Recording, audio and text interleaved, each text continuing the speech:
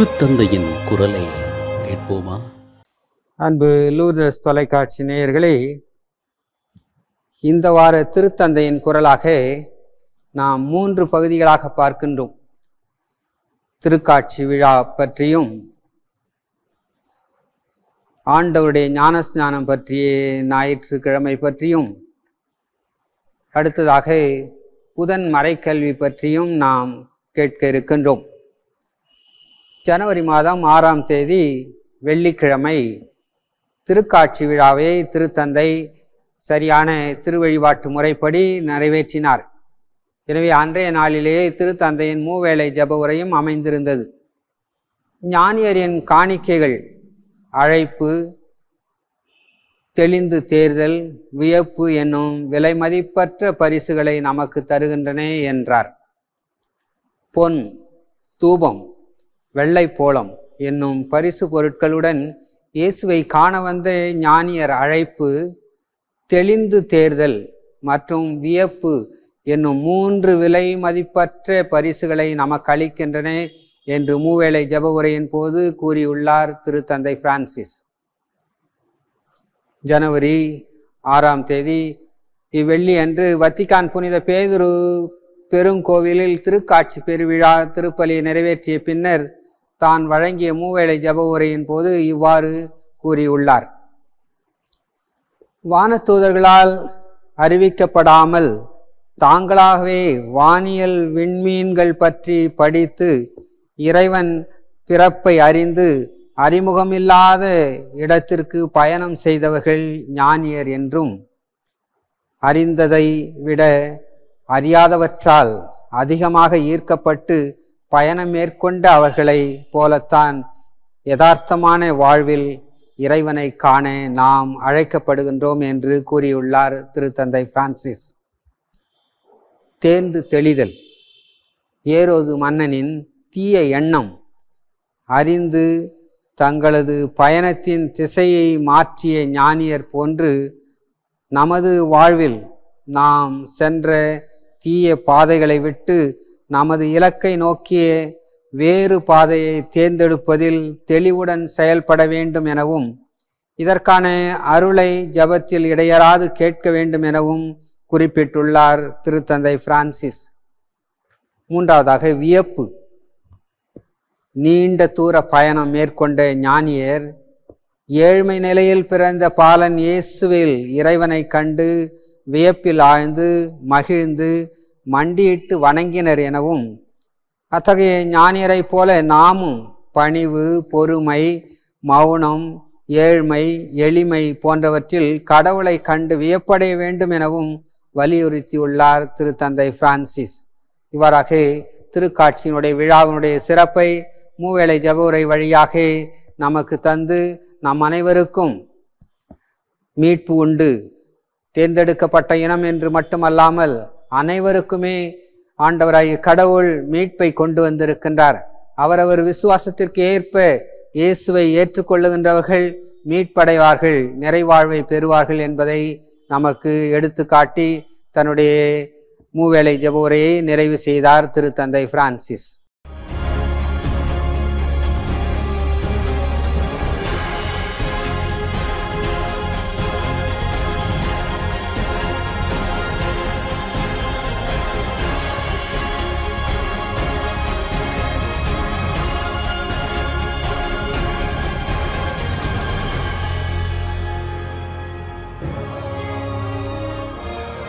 திருத்தந்தையின் குரலை கேட்போமா? அன்பு தொலைக்காட்சி நேயர்களே ஆண்டவருடைய ஞானஸ்நான விழாவை நாம் இந்தியாவிலே திங்கள்கிழமை கொண்டாடினாலும் திருவழிபாட்டு பொது வழிபாட்டு முறையில் ஜனவரி எட்டாம் தேதி ஞாயிற்றுக்கிழமை ஆண்டவருடைய ஞானஸ்தானம் பற்றிய திருவிழாவானது கொண்டாடப்பட்டது. கருணையுடன் நம்மை மீட்கும் கடவுளின் அன்பின் நீதி என்ற தலைப்பிலே திருத்தந்தை தன்னுடைய உரையை வழங்கினார். பிரிப்பவர்களாக அல்ல பகிர்வுகளாக ஒருவரை ஒருவர் கருணையுடன் பார்த்து உதவிகள் செய்து இயேசுவை போல வாழ வேண்டும் என்றார். இயேசு தான் பெற்ற திருமுழுக்கின் வழியாக உலகிற்கு கொண்டு வர வேண்டிய நீதியை வெளிப்படுத்துகின்றார் எனவும் கடவுளின் நீதி தண்டிக்கும் நீதி அல்ல மாறாக கருணையுடன் நம்மை மீட்கும் அன்பின் நீதி எனவும் கூறியுள்ளார் திருத்தந்தை பிரான்சிஸ். ஜனவரி எட்டு ஞாயிற்றுக்கிழமை இயேசுவின் திருமுழுக்கு விழாவை திரு அவை கொண்டாடி மகிழ்ந்த வேளையில் மூவேளை ஜப உரையின் போது இவ்வாறு கூறியுள்ளார் திருத்தந்தை பிரான்சிஸ். இயேசுவைப் போல நாம் ஒருவர் மற்றவரது சுமைகளை பகிர வேண்டும் எனவும் கருணையுடன் ஒருவர் மற்றவருக்கு உதவ வேண்டும் எனவும் கூறினார். கடவுளுடைய நீதி மறைநூல்களை கற்பிப்பது போல் மிகவும் பெரியது எனவும் அதன் நோக்கம் குற்றவாளிகளை தீர்ப்பிடுவது அல்ல கருணையுடன் அவர்களை பார்த்து அன்பினால் மீட்டு மறுபிறப்பளித்து நீதிமான்களாக்கும் அன்பின் நீதி என்றும் எடுத்துரைத்தார் திருத்தந்தை. அன்பின் நீதி.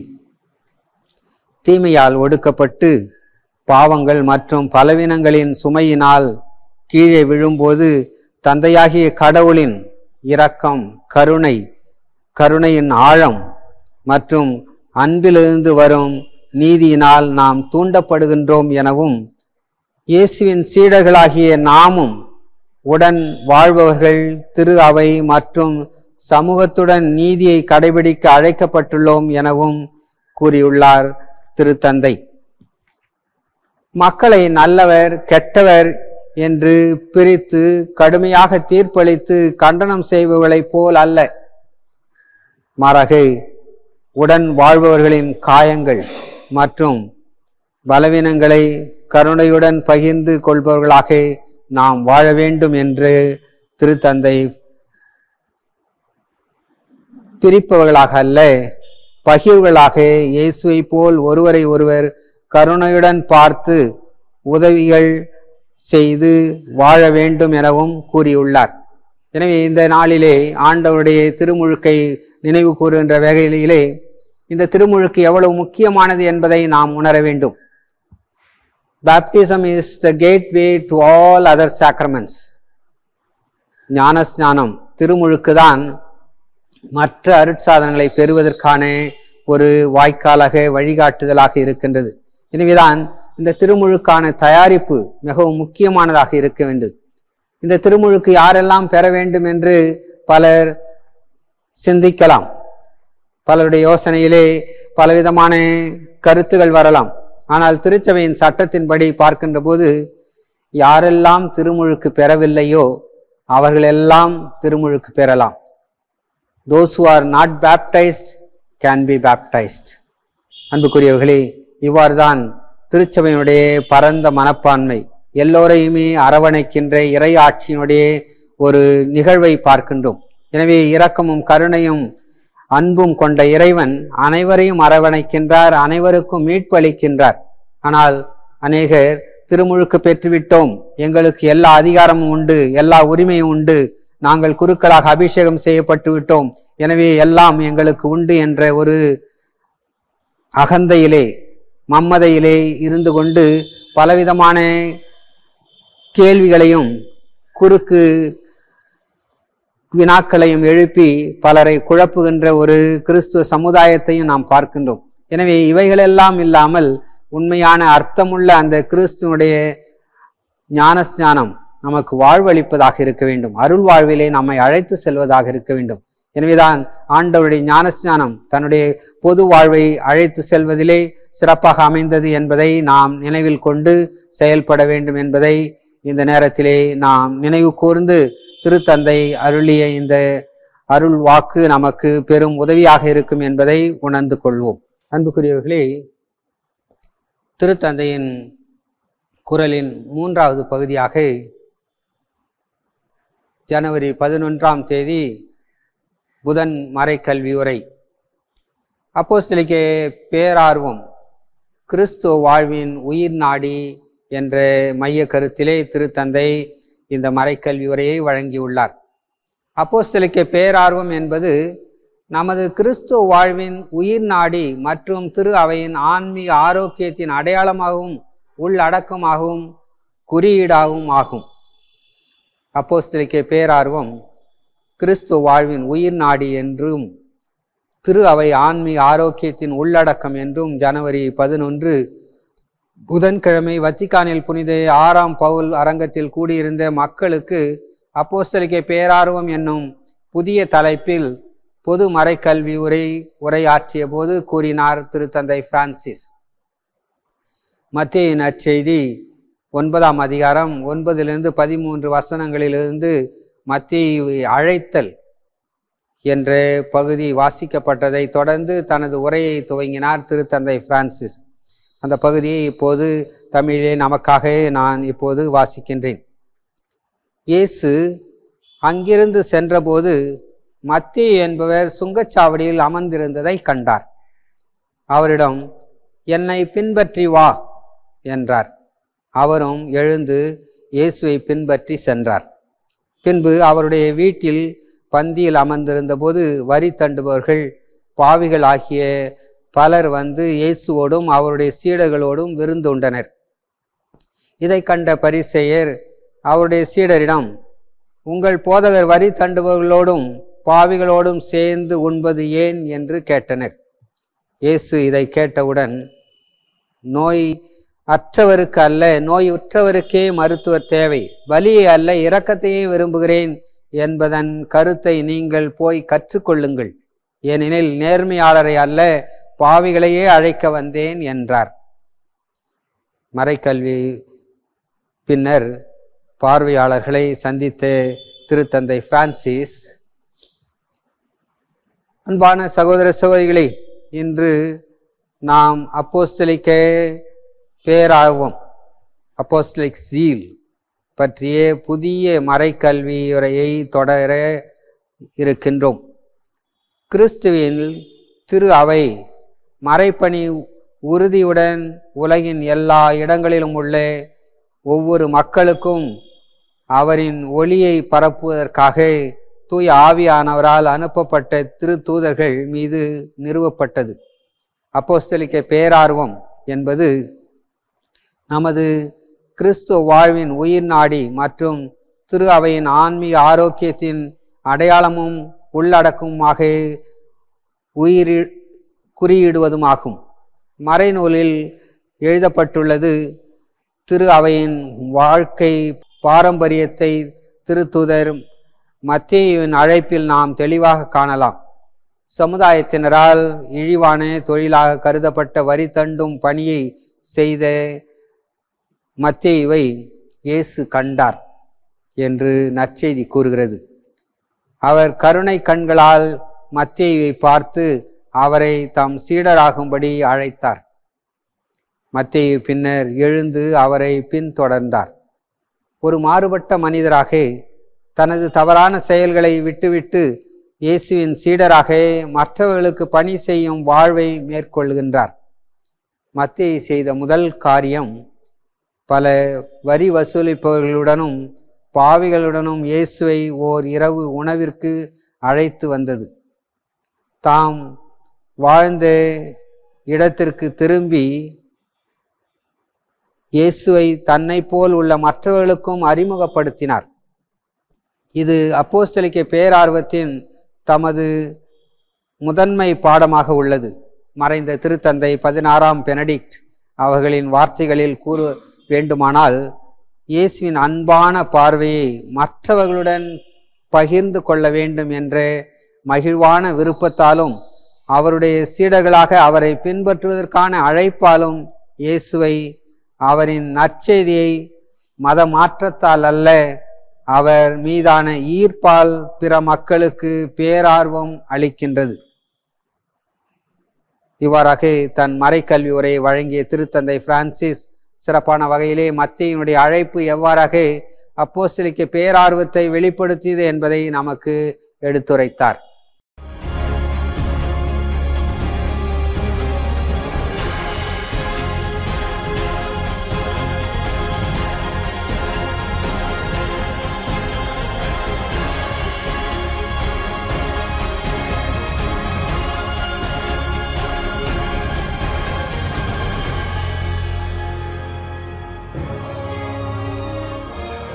திருத்தந்தையின் குரலை கேட்போமா? அன்பு லூர்தஸ் தொலைக்காட்சி நேயர்களே கடந்த வார திரு வழிபாட்டினுடைய ஒரு சுருக்கமாக நாம் பார்ப்போம் என்றால் இந்திய திருவழிபாட்டு முறைப்படி கடந்த ஞாயிறு அன்று திருக்காட்சி விழாவுடைய பெருவிழாவை நாம் கொண்டாடினோம். அடுத்த நாள் திங்கள்கிழமை ஆண்டவருடைய ஞானஸ்நான விழாவை கொண்டாடி நாம் அதோடு கிறிஸ்து பிறப்பு விழாவினுடைய ஒரு நிறைவை கொண்டாடி அடுத்த நாளிலிருந்து பொதுக்காலம் தொடங்க ஆரம்பித்தது. எனவே அந்த வகையிலே நாம் பத்தாம் தேதி செவ்வாய்க்கிழமை ஆண்டின் இரண்டாவது செவ்வாய்க்கிழமையாக அந்தோனியார் நாளை நாளிலே இந்த பொது காலத்தினுடைய நிகழ்வை தொடங்கினோம். அதைத் தொடர்ந்து பதிமூன்றாம் தேதி வெள்ளிக்கிழமை ஆயரும் மறைவல்லுனருமான புனித ஹிலரி அவருடைய நினைவு நாளை நாம் கொண்டாடினோம். திருச்சபையிலே முப்பத்தி ஏழு மறைவல்லுனர்கள் உள்ளார்கள். அந்த வகையிலே நான்கு பெண்களும் பதினாறு மற்ற ஆண்களுமாக திருத்தந்தையர்கள் புனிதர்கள் என்ற வரை வகையிலே மறைவல்லுனர்கள் அதிலே நிறுவப்பட்டுள்ளதிலே பார்க்கின்றோம். ஏனென்றால் சமீபத்திலே மறித்து பதினாறாம் பெனடிக்ட் திருத்தந்தையும் இறைவல்லுனர் என்ற ஒரு நிலையிலே இன்னும் பல ஆலோசனைகளுக்கு உட்பட்டதாக இருக்கின்றதை நாம் அறிவோம். இந்த புனிதர் ஹிலரி சிறப்பான ஒரு தொண்டாற்றியவர். இவர் கிறிஸ்துவர் அல்லாத பெற்றோர்களுக்கு குழந்தையாக பிறந்தாலும் சிறந்த வகையிலே அவர்கள் வசதியான குடும்பமாக இருந்ததால் நல்ல கல்விகளை பெற்றிருந்தார். அதனால் விரைவிலேயே அவருக்கு நல்ல ஒரு இறை அழைத்தல் இருந்ததை கண்டு அவரை ஆயராக நியமித்தார்கள். அதே நேரத்திலே அவர் இந்த கிறிஸ்துவியல் கிறிஸ்டாலஜி அதை பற்றிய தர்க்கங்கள் நிறைந்த பலவிதமான குறைபாடுகள் நிறைந்த அந்த வேத கொள்கைகளுக்கு எதிராக செயல்பட்ட ஆரிய வம்ச குழுக்கள் ஏரியன்ஸ் ஹெரசி என்று சொல்வார்கள். அவர்களையெல்லாம் முறியடித்து சிறப்பான வகையிலே கிறிஸ்து கடவுளும் மனிதருமானவர் என்ற ஒரு நிலைப்பாட்டை உருவாக்கினார். அது மட்டும் இல்லாமல் அவரை ஒரு தீவிலே அவர்கள் சிறைபட செய்தபோது அவர் தமத்திருத்துவத்திற்கான ஒரு தொகுப்பை உருவாக்கினார்.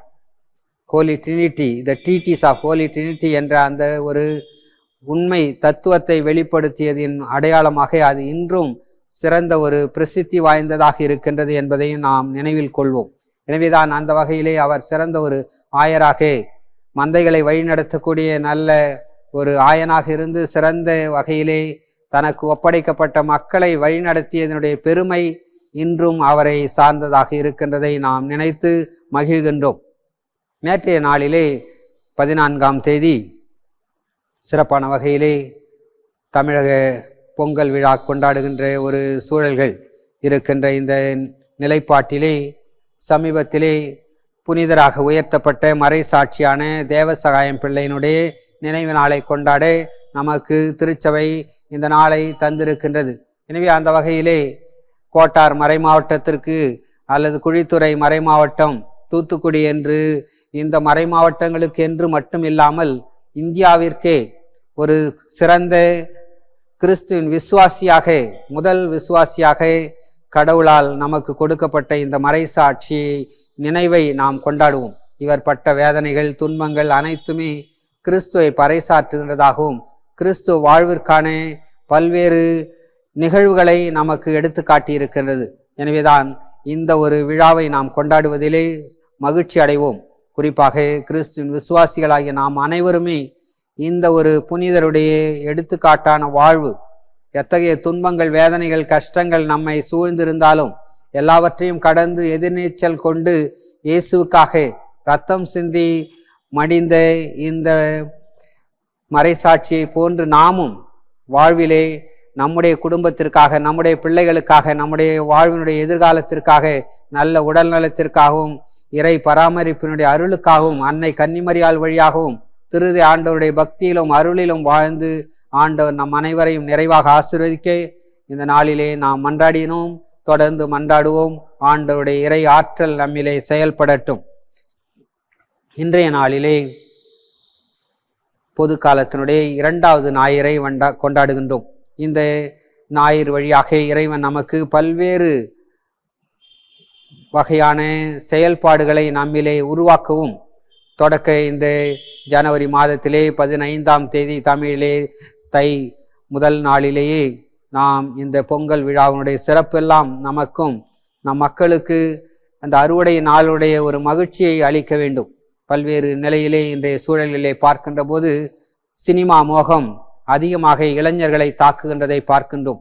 பல்வேறு போராட்டங்களுக்காக முன்னின்று செயல்படுகின்ற இன்றைய கால இளைஞர்கள் கார்ப்பரேட்டுக்கு எதிராகவும் இன்னும் பல்வேறு அநீதிகளுக்கு எதிராக போராடுகின்றவர்கள் அதே கார்ப்பரேட் தான் இந்த ஒரு சினிமா மோகத்தையும் உருவாக்கி மக்களை தன்னுடைய அடிமைத்தனத்திற்கு ஆளாக்குகின்றது என்பதை அவர்கள் உணர வேண்டும்.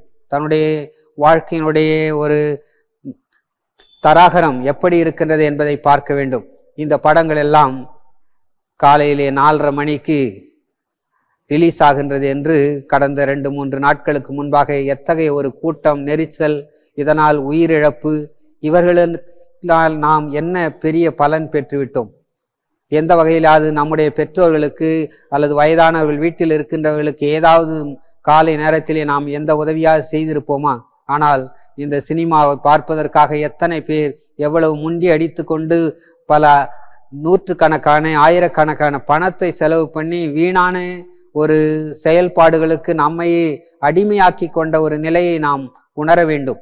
இதை பல விதத்திலே பல ஊடகங்கள் நம்மை முட்டாள் என்று சொல்லுகின்ற அளவுக்கு நம்மை அறக்கட்டளைக்கு இழுத்து செல்லுகின்றது. எனவே இந்த இத்தகைய அடிமைத்தனங்களுக்கு நாம் ஆளாகக்கூடாது நல்ல எண்ணம் நல்ல சிந்தனை நல்ல நோக்கம் நல்ல லட்சியம் இந்த இந்த புத்தாண்டிலேயே இறைவன் நமக்கு கொடுத்து நம்மை வாழ்வினுடைய ஒரு முக்கியத்துவத்தை உணர செய்ய வேண்டும். மீண்டும் மீண்டும் நாம் பல்வேறு மூட நம்பிக்கைகளுக்கும் போதைகளுக்கும் குடிப்பழக்கத்திற்கும் அடிமையாக்கி கொண்டே இரு போனோம் என்றால் நம்முடைய ஆயுள் காலம் மிக குறைவாக போய்விடும். சரியான வாழ்க்கை அமைப்பை ஏற்படுத்தி கொள்ளாமல் சரியான நோக்கம் எண்ணம் வழிகாட்டுதல் சரி நி- நிகர் செயல்பாடுகளிலே நாம் தகவறி போகின்ற போது எந்த ஒரு பிரச்சனையும் நம்மை மூழ்கடித்து நம்மை ஒரு சுனாமியின் வலைக்குள் தள்ளிவிடும் என்பதை மனதில் கொள்வோம். எனவே ஆண்டவருடைய அருளிலே இந்த நாட்கள் எல்லாம் நல்ல நாட்களாக பயனுள்ளதாக நாம் செய்கின்ற ஒவ்வொரு காரியங்களிலும் அதனுடைய அர்த்தத்தையும் பொருளையும் குடும்ப உணர்வையும் வெளிப்படுத்தி நாம் அனைவரையும் இறை ஆசிரால் வழிநடத்தப்படட்டும். ஏனென்றால் இந்த கால சூழலிலே நாம் அற்புத குழந்தை இயேசுனுடைய விழாவை கொண்டாடி மகிழ்கின்றோம். பலவிதமான வகையிலே பல சிற்றாலயங்கள் பேராலயங்கள் பங்குகள் என்ற முறை வகையிலே இந்த அற்புத குழந்தை இயேசுனுடைய பக்தியானது வளர்ந்து இன்று பல இடங்களிலே நாம் இந்த விழாவை கொண்டாடி மகிழ்ந்தோம். அந்த கள்ளம் கபடற்ற குணம் தூய்மையான புனிதமான அந்த ஒரு மாசு மறுவற்ற நிலைப்பாட்டை நம்மிலே வளர்த்து கொள்ள வேண்டும். நாளைய நாளிலே நாம் புனித ஜோசப் வாஸ் திங்கள்கிழமை பதினாறாம் தேதி புனித ஜோசப் வாசனுடைய ஒரு விழாவை கொண்டாடுகின்றோம். இலங்கையில் சென்று அவர் மறித்தாலும் இங்கே கோவாவிலே மங்களூரிலே என்று பல இடங்களிலே அவர் பணி செய்த நிகழ்வுகள் இருக்கின்றது. எனவே புனித ஜோசப் வாசு வழியாகவும் இறைவன் நம் அனைவருக்கும் வாழ்வளித்து அவருடைய ஆன்மீக தாகம் நற்செய்தியை போதிக்க வேண்டும். பல இடங்களுக்கும் சென்று இயேசுவை அறிவிக்க வேண்டும் என்ற அந்த ஒரு நிலைப்பாட்டை நம்மிலே வளர்த்து கொண்டு இறை ஆசிரோடு வாழ நாம் தொடர்ந்து திருப்பலிலே இந்த நிகழ்வுகளிலே நாம் பங்கு கொண்டு அன்றாடம் நாம் திருப்பலி காண்பதற்கான வாய்ப்புகள் இருக்கின்ற போது அதை நழுவு விடாமல் இப்போது குளிர் சற்று குறைந்த நிலையிலே இருக்கின்றது. எனவே நாம் வழக்கமான செய்யக்கூடிய நல்ல காரியங்களை எல்லாம் நம்முடைய பழக்கத்தோடு நாம் சேர்த்து கொண்டு நல்ல பழக்க வழக்கங்களை வளர்த்து கொண்டு இறைவனுடைய ஆசிரை பெற தொடர்ந்து திரு திரு நிகழ்வுகளிலே பங்கு கொள்வோம். இறுதியாக தன் அப்போஸ்தலிக் ஆசிரை திருத்தந்தை அளித்தார். வி. பெனதிகா நெல் நோமெதல் பாதரே தெல் ஃபீலியோ தெலோ ஸ்பிரிட்டோ சாந்தோ ஆமீன் காட் bless யூ